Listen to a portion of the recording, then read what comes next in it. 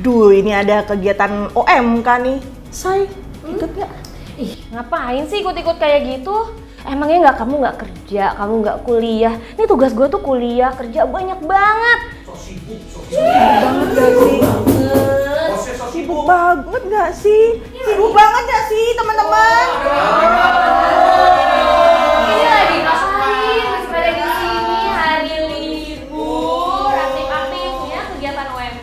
Ini nih yang namanya si paling sibuk, si paling kerja, si paling ngerjain tugas. Tapi disuruh pelayanan doang aja susah banget loh. Ini kalau Tuhan ngeliat nih, hmm, hmm.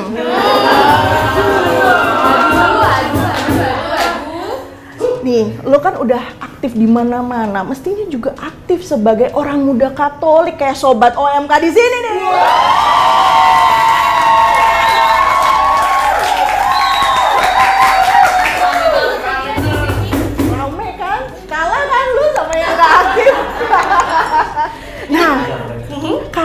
Aktif-aktif kayak gini, kayaknya kita harus ketemu sama yang hmm, ada salah satu paroki yang aktif banget nih OMK-nya.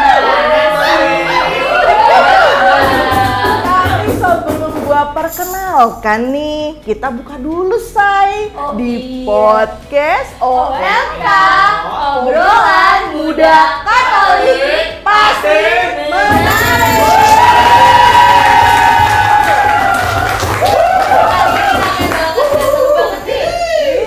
Satu paroki soalnya. Bener-bener aktif banget di sini UMK Tadi ya kan ampun. kita ngomongin paroki yang aktif nih OMK-nya. Gua udah bawain langsung dari Karawaci nih teman-teman. Eh bukan gua yang membawa, tapi kita yang dibawa. Kita yang dibawa ke Karawaci, tepatnya di paroki Helena.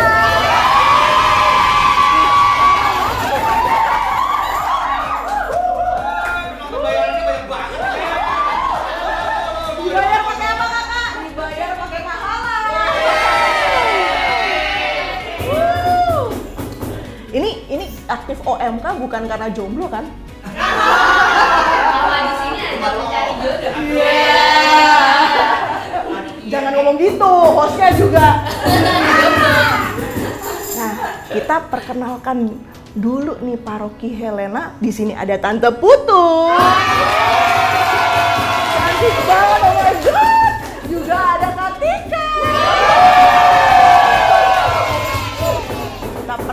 perkenalkan nih dua bidadari cantik ini. Ini pasti sobat OMK kalau yang di episode-episode sebelumnya kan gua mulu kan mukanya. Sekarang kalian senang kan melihat cewek-cewek cantik di sini? Senang tuh ya pada Bahagia. makin bahagia lu. Awas aja lu. Viewernya harus banyak sih. Nah, halo Tante Putu dan juga Kak Tika. Sobat OMK dan juga ini.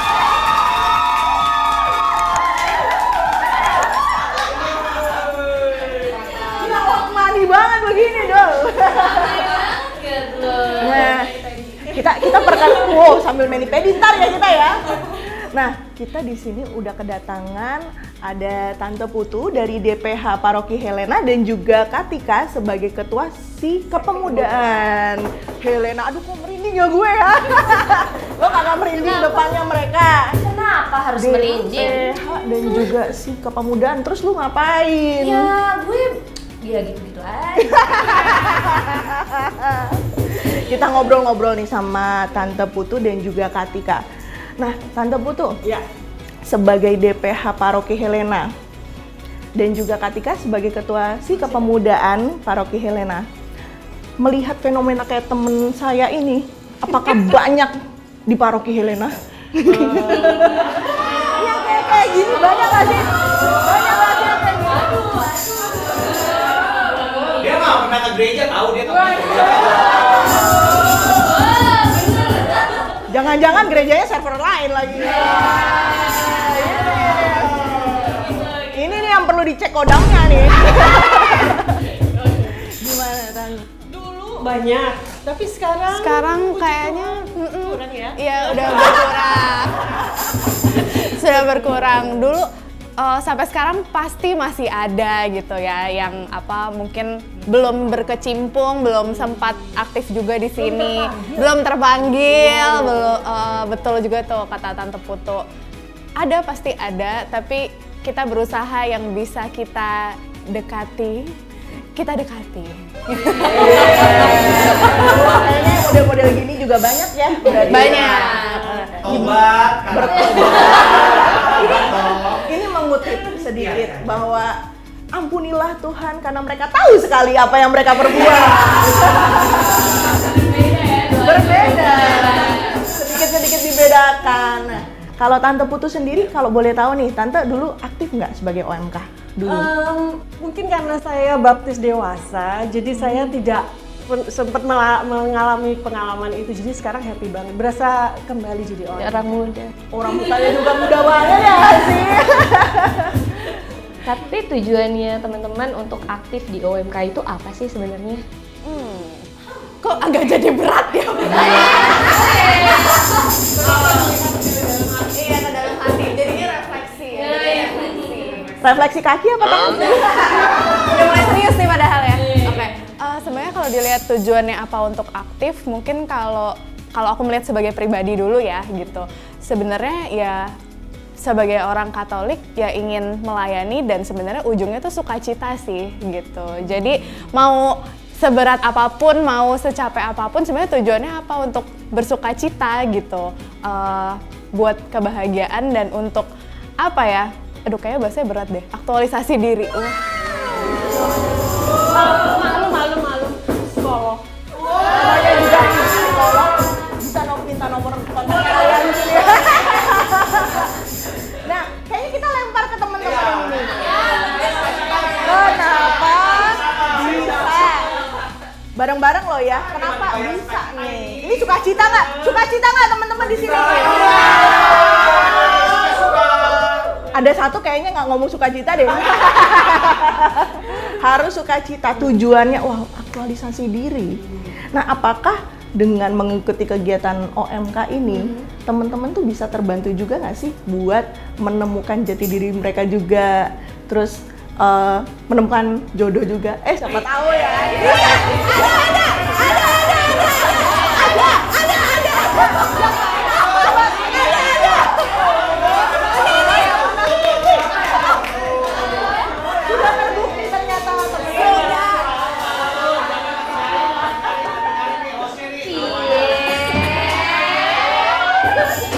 Pokoknya ya, eh, ketua sikap itu kalau sudah selesai eh, pelayanannya biasanya menikah. Udah merinding ya, Bo. Kembali aktif-aktif lah, udah jadi DPH ya bu? Iya. Udah jadi DPH tapi belum nikah. Ya intinya sih ya mereka tuh harus menemukan uh, apa yang mereka suka di sini. Jadi kalau kalau orang bikin kegiatan di gereja itu baca, baca kitab suci, terus ibadat, ya mungkin terlalu biasa. Nah kalau di sini tuh kita mencoba kalian sukanya apa sih? Ada yang suka teater, ada yang suka ngeband, ada yang suka nyanyi, ya, ada yang suka main bulu tangkis doang sama Romo. Ada sini. Ada. Iya.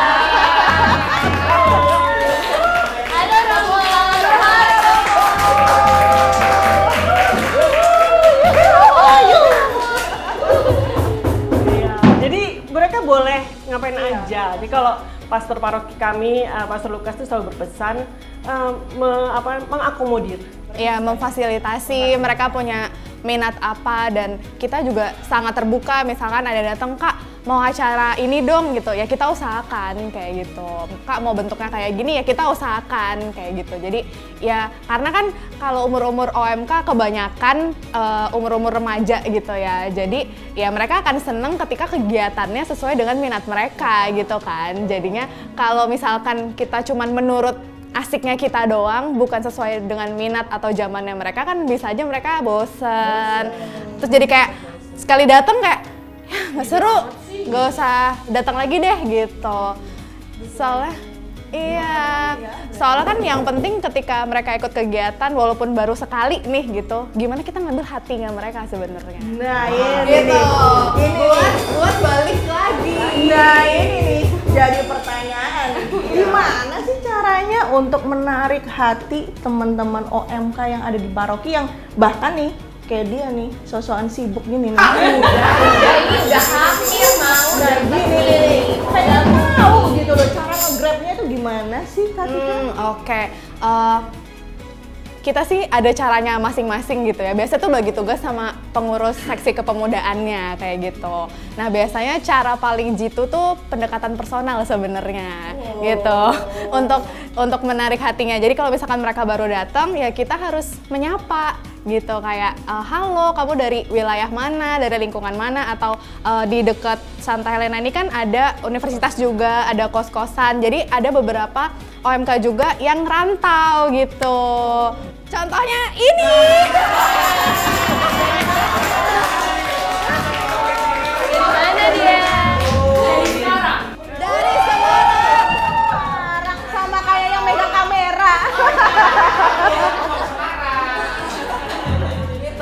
ya contohnya eh, dari Semarang ini ada Ima gitu. Jadi eh, ketika mereka datang yang kita perlu menyapa sebenarnya one on one itu walaupun oke acaranya udah kita buat sedemikian rupa ya meriah lah MC-nya oke acaranya oke tapi kalau nggak dideketin personal tuh jadi apa ya iya asing. Karena kan eh, sebenarnya perlu untuk penerimaan dulu kayak oh aku diterima nih di sini jadi aku mau datang lagi gitu makanya kadang ya mungkin aku kelihatan SKSD kali ya atau apa gitu. Kadang kayak siapa namanya? Kayak gitu. Kayak dari mana? Agak posesif ya. Siapa namanya? mungkin ada kali yang kayak gitu nggak tahu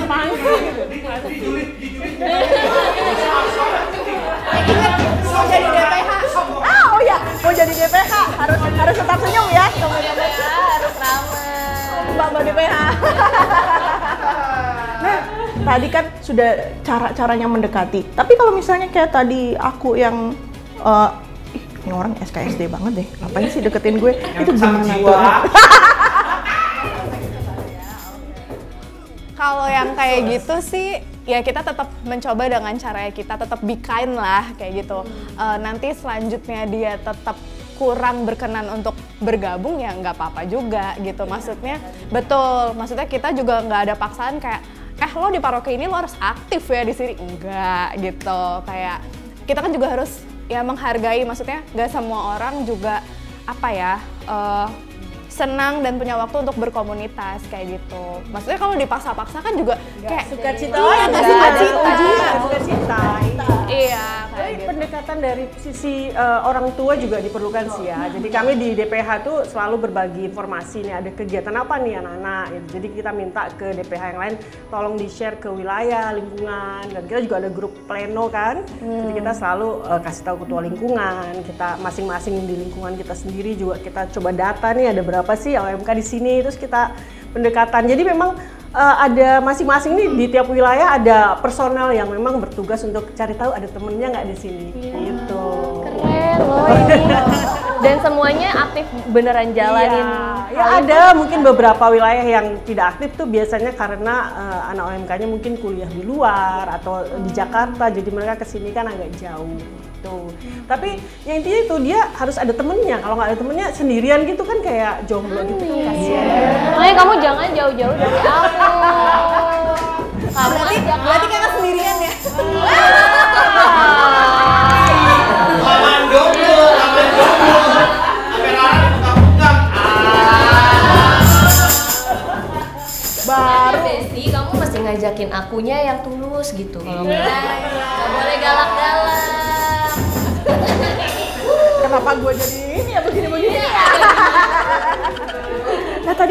banget dari Tante Putu juga mengatakan bahwa eh, dari DPH sendiri itu eh, mensupport penuh ya eh, kegiatan dari teman-teman OMK ini. Berarti Tante Putu ini deket banget dong sama anak-anak OMK. Terutama kalau minta diisiin kulkasnya. Ya, nanti kita spill isi kulkasnya ya.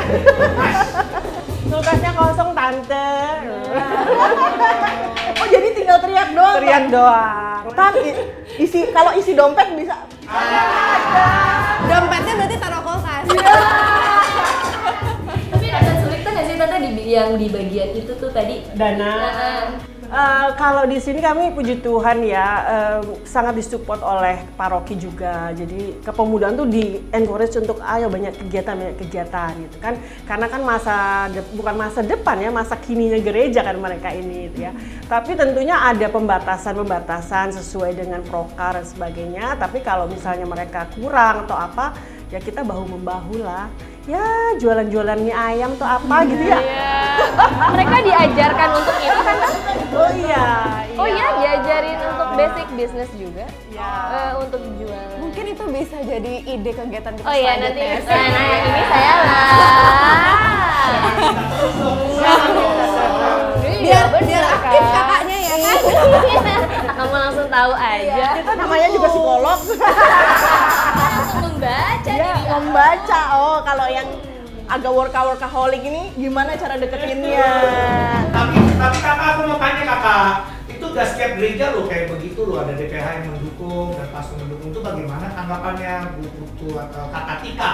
Hmm, tanggapannya pasti seneng banget karena aku aja manggil Tante Putu tuh sebenarnya eh, bunda, bunda, bunda. Aku manggil Tante Putu itu bunda, bun, bun, bun gitu. Jadi eh, kalau terus kalau ada apa-apa kayak ma gitu ya. Jadi ya kayak kayak ibu sendiri kayak gitu. Dan eh, syukurnya kalau di Paroki Curug eh, romo-romo yang mendukung, romo pendamping kepemudaan, romo Freday mendukung, terus eh, romo paroki juga, terus eh, dewan juga Tante Putu kan yang sangat mendukung dan dewan-dewan yang lainnya kan juga eh, pasti eh, eh, kompak dan kayak apa ya kita kan kalau bikin acara nggak mungkin ke Tante Putu doang gitu tapi juga kayak ke seksi keamanan gereja terus harus ke rumah tangga terus eh, misalkan dewan yang bagian persuratan kayak gitu ya harus membangun hubungan baik juga dan puji Tuhannya akrab gitu jadi perlu pinter-pinternya juga Nah, itu memang semuanya ya. Iya.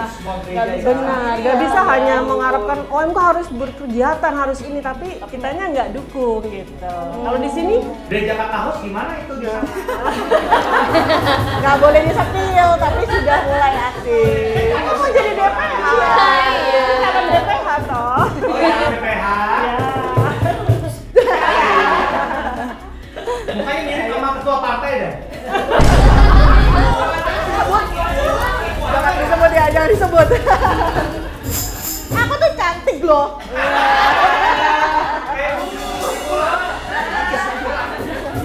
Udah kan, gue gak ikut partai, kita lanjut aja ya. Tadi ngomong soal soal kegiatan nih. Nah, dari berbagai kegiatan yang ada di eh, sikapnya Helena, apa sih beberapa mungkin bisa disebutkan satu atau dua kegiatan yang apa ya bisa bisa dibilang tuh kegiatan yang besar dan juga memang tiap tahun dilakukan. Hmm, oke. Kalau yang cukup besar dan rutin gitu ya sudah beberapa tahun ini itu adalah eh, tablo gitu. Jadi eh, di masa yang kalau misalkan Jumat Agung kan pasti depannya ada tablo tuh gitu. Nah itu beberapa tahun terakhir itu dipegang oleh eh, OMK gitu, seksi kepemudaannya. Dan kenapa kita bilang besar? Karena ya selain itu hari besar ya Jumat Agung itu sendiri eh, melibatkannya banyak banget gitu.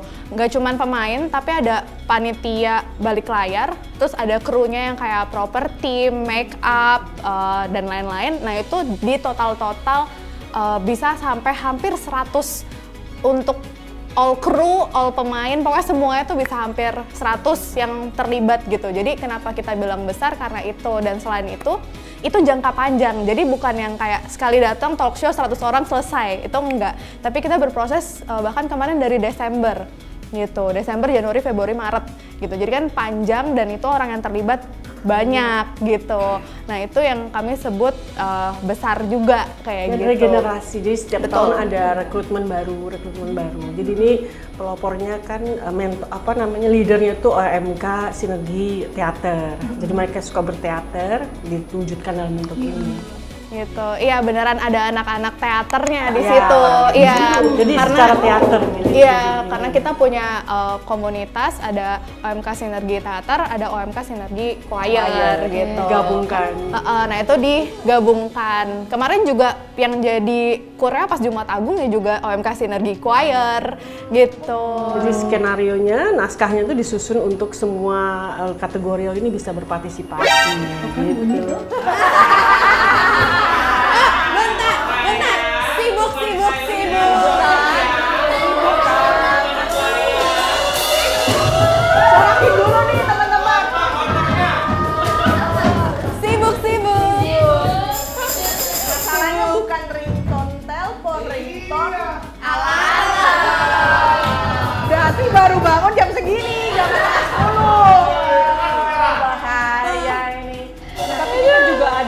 EKM dan Lekafe. Betul. Setiap Apa itu. EKM? Ekaristi Kaum Muda. muda. Oh. Ketahuan. Jalannya keren. Iya, ada ada ekaristi kaum muda bisa setahun sekali atau setahun dua kali gitu. Nah, biasanya di EKM ini kita selalu ada temanya gitu. Nah, paling dekat untuk tahun ini itu 17-an. Jadi hari kemerdekaan. Betul. Ada berapa orang sih? Kalau secara bidu banyak, tiga ribuan. Karena kan Oh my god. Tante banyak banyak di sini. eh sebelahan paroki kalian kan? paroki tetangga dia. Karena kan dari 13 sampai 35. 35. Tapi kan kalau uh, untuk di OMK mungkin yang 13 ke 16 itu masih- mungkin belum berani ya, masih masih obir kan istilahnya. Iya, Mas.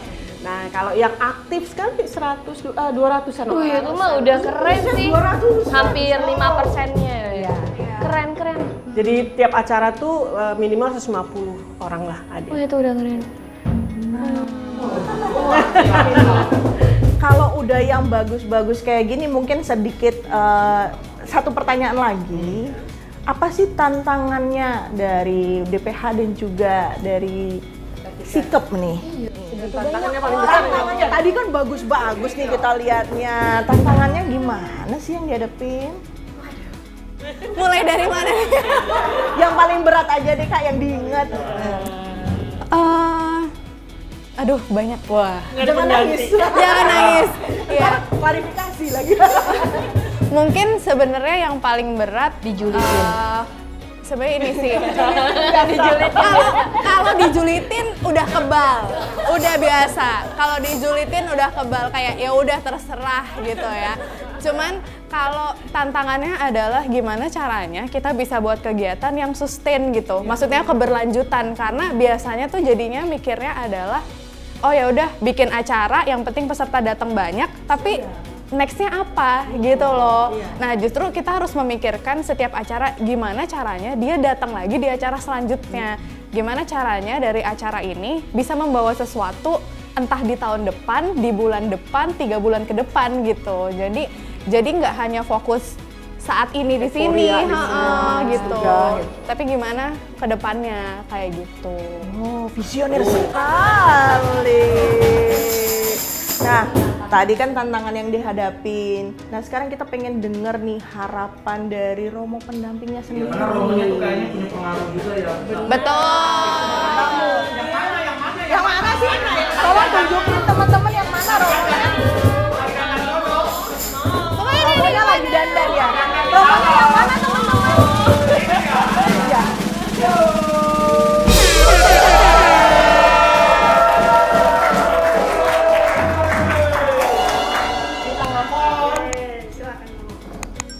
Halo. Romo biru sekali. Sudah siap membirukan dunia. Sedih dong. Kok membirukan dunia? Biru kan sedih artinya cuy. Lo nggak apa-apa seperti langit. Romonya Coba. Mingkem, mingkem. Ayo. Am, am. Coba mingkem dulu teman-teman ada lalat takutnya. Nah Romo, kita pengen nanya nih harapannya Romo sendiri buat teman-teman eh, OMK di Helena yang udah begitu aktif ya kan, udah jadi ujul apa tadi? Umar Julid. Gak bercanda ya guys, karena teman-teman sobat OMK di sini dan juga seluruh di paroki Helena ini begitu aktif. Bahkan aku sendiri yang di paroki lain itu juga melihat "Wih, kayaknya seru nih ya. Iya, di sini seru banget dan hangat banget. Bagaimana Romo?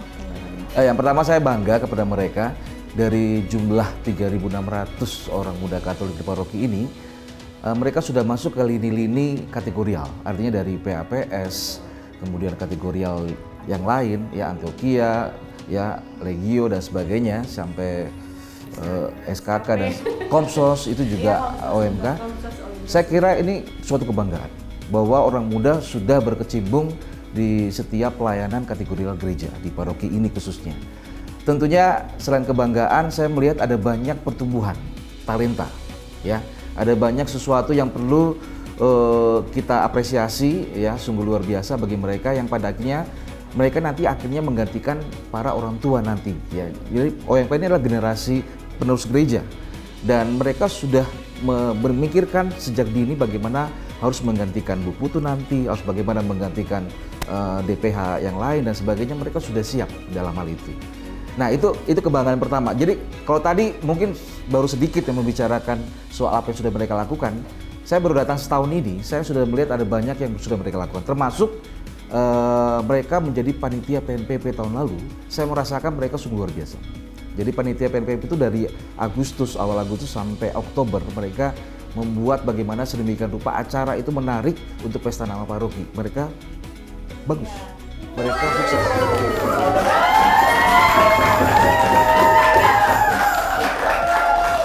Dari situ saja, ya dari situ saja saya melihat, oh ini luar biasa. Ya artinya bahwa saya baru datang Agustus melihat bertemu mereka itu adalah suatu kebanggaan yang perlu diapresiasi, perlu didukung, ya perlu untuk bisa bersama dengan mereka sehingga mereka dapat semakin banyak, semakin dan banyak.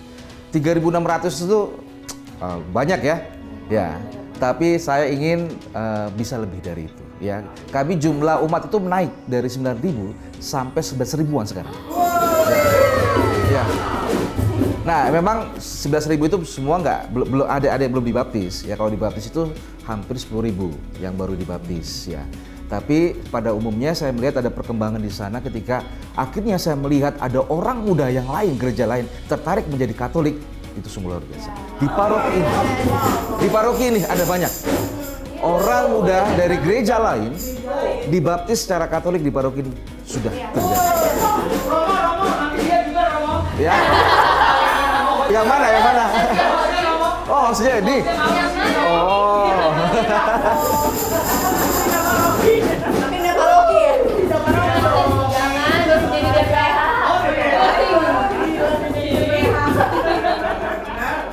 Itu itu situasinya saya kira bahwa memang apa yang sudah mereka lakukan perlu didukung, perlu diapresiasi dan harapannya ke depan mereka lah yang akan menggantikan penerus-penerus gereja ya sehingga penerus gereja itu bukan orang-orang itu aja, bukan orang tua itu aja, tapi ada orang muda yang tumbuh dan berkembang menjadi pengganti penerus gereja kelak.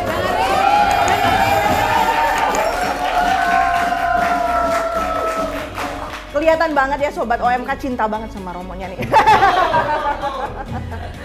Wah, terima kasih banyak nih kita kita sudah sampai di penghujung acara. Nanti habis ini aku mau ikut OMK. Baru baru bentar aja pendekatan personalnya udah Ini yang namanya pendekatan berhasil ya langsung. Berhasil. Cepat. Udah masuk, mau masuk nih. Oh masuk? Oh, Jadi Oke. sobat OMK jangan lupa datang ke sini nih juga Iya. nih. Helena, OMK Helena. Helena tuh di mana sih? Eh, Iya, di mana rumah? Di mana? Kami ada di Lipo Karawaci di Taman Permata. Jadi kalau ke arah eh, Lipo Karawaci cari rumah sakit Siloam tinggal lurus sedikit saja Anda sudah bisa menemukan gereja Santa Helena. Iya, tadi pas datang juga sambutannya ramah banget Ramah dari banget, depan dari sampai depan sampai parkir, terus tuh masuk parkir aja kita dicariin. Iya, sampai kita tuh udah kenyang banget. Aku disambut dari pintu depan malahan. Iya, Bentar, pintu depan, bentar dulu. Pintu depan mana? Pintu depan rumah sakit Siloam apa di sini? Nah, salah masuk ntar.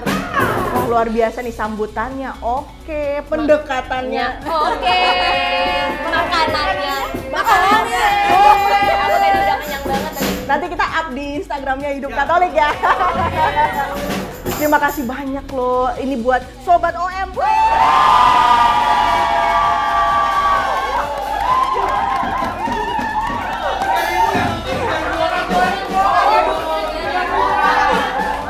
Tolong satu orang dikalikan 10 nih semuanya. Tolong. Dia zoom. Ini baru ini baru satu persennya. Satu persennya doang loh sobat OMK. Wah, jadi bener-bener tertarik nih. Apa gue bisa di sini ya? Eh, Kak, datang aja tanggal 17 Agustus. Kita ada Ekaristi Kaum Muda dan lomba 17-an. Eh, misanya, misanya mulai jam 5 sore. Jam 5 sore. Iya. Oke, datang. Datang semua ya. Datang ya. Terima kasih banyak Romo, Sayang banget waktunya dan juga. Katina waktunya. Waktunya lebih banyak ya lu yang masuk ke sini. Biar banyak waktunya. Karena kita sudah dikejar jadwal. Waktu. Kejar waktu Enggak sih, sebenarnya jadwal kita tuh adalah makan di sana. Betul. Lo. Banyak banget makanan di sini ya. Oke kalau gitu. Kita tutup di podcast OMK. Obrolan muda Katolik masih